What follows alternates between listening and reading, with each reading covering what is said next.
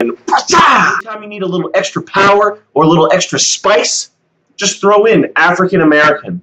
Sam Hyde, an African American man. anytime you need to drop the hammer, just throw in African American. You're in line at the DMV. Okay, you want to cut the line. Is this what they're gonna make an African American man wait in line for? Bam!